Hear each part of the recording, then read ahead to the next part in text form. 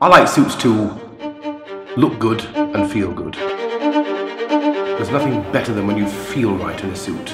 Uh, it's the feeling of, you know, it's like as if it's at one with you. And that's the great thing about the Gagliardi uh, suits that I'm wearing. That they, I really feel that